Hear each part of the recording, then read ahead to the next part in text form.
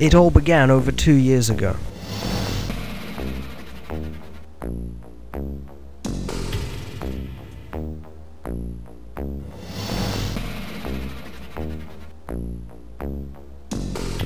The earth had become overpopulated with poverty and misery on every corner.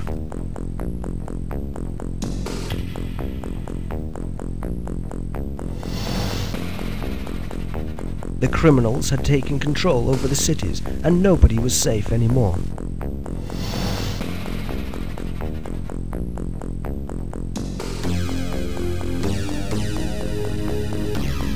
To escape from the madness, Harper and I joined a space exploring mission who required mercenary soldiers. The occasion was perfect and we were soon on board Explorer FX-2.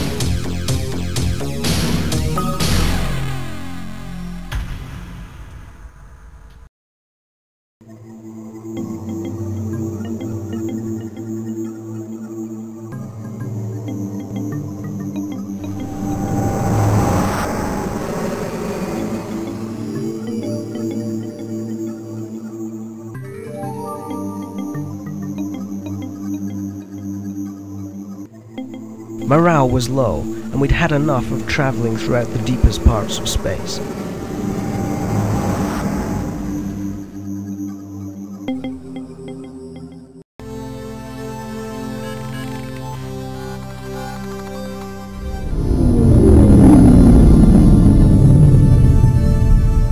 Just when all hope in our hearts were about to vanish, like a flash from the sky, she shone brightly in front of us. She was ten times bigger than Earth and looked a real beauty. We christened her Algillera.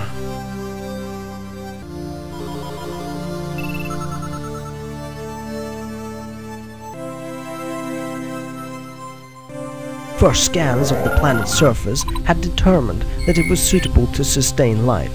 Moreover, there were a plethora of edible plants and simplistic animal forms.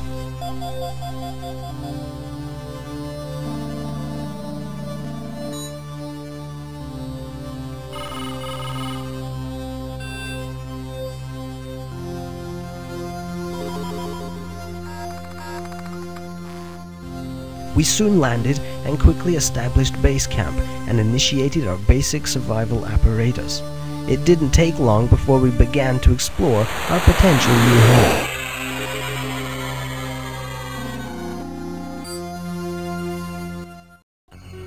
Our base camp has now grown into a fully functioning settlement that Earth would be proud of. We were now ready to make the long journey back to deliver hope and news on our discovery.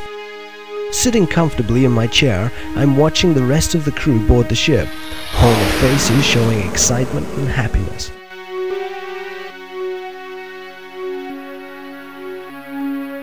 On my left, I can see Harper, already in a deep sleep. I start to feel the same drowsiness.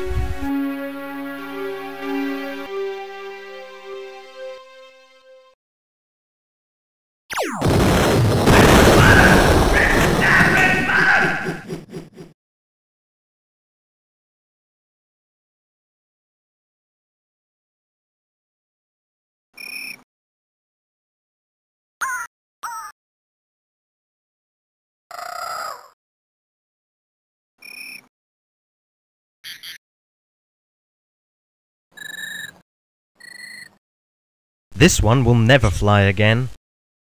On the other hand, there could still be something useful inside. It's a medikit. I'll grab it. You never know. It may come in useful. It's a navigation device and it looks functional. This laser gun is not fully loaded, but I'll feel more secure with it.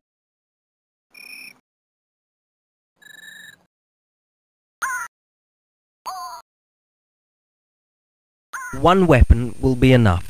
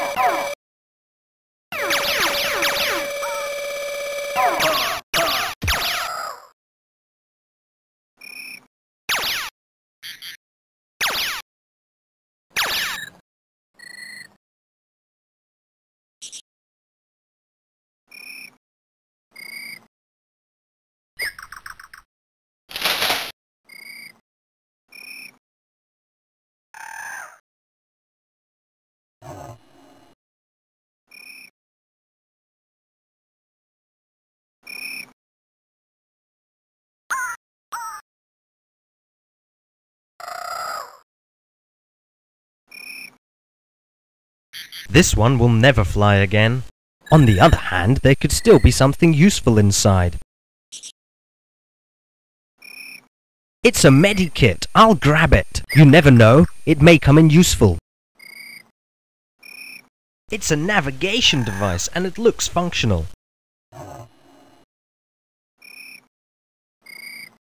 This laser gun is not fully loaded, but I'll feel more secure with it. One weapon will be enough.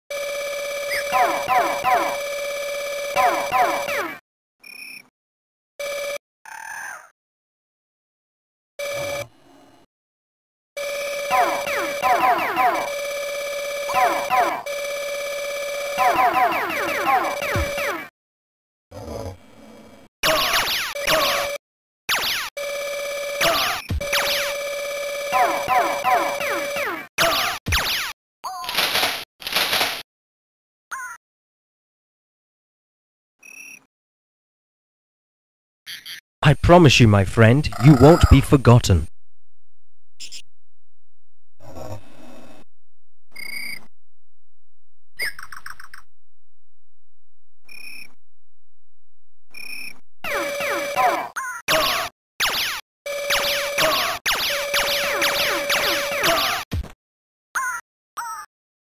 Ah. Ah, Calm down. I'm not going to hurt you. No way you gonna catch me again. Don't panic. I'm here to help you. He looks as if he's fallen into a coma.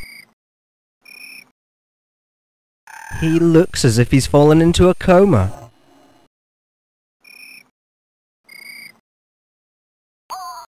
He could have been intelligent, but unfortunately it's too late for further analysis.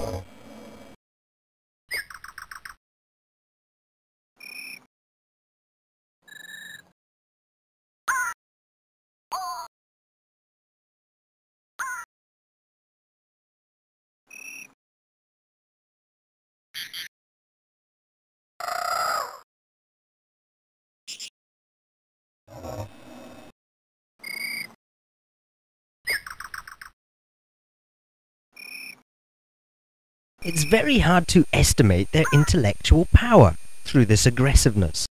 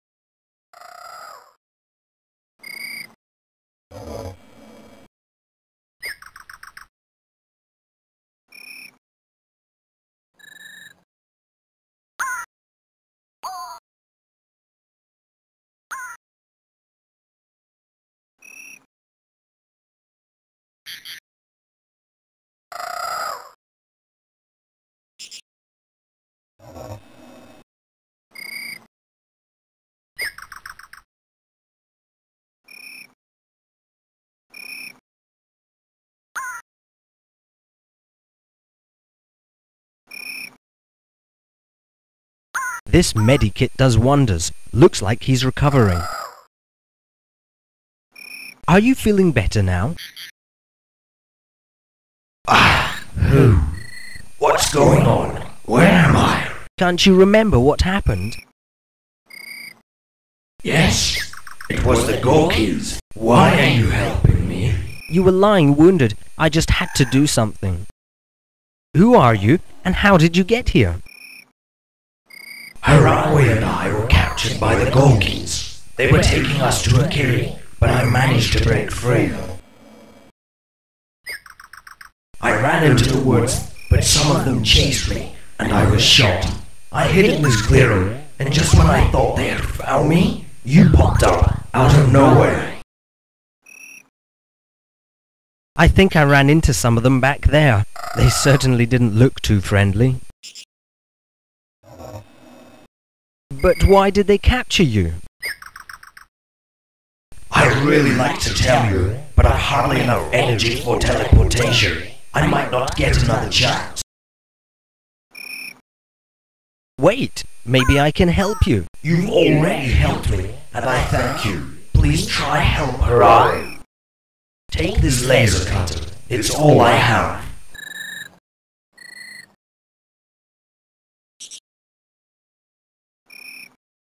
It cuts hard objects oh, easily. I have to go now. Wait, what's your name? Udra. My name's... He's gone. There's something weird going on here. Maybe I should find the cave he was talking about. I definitely need some answers.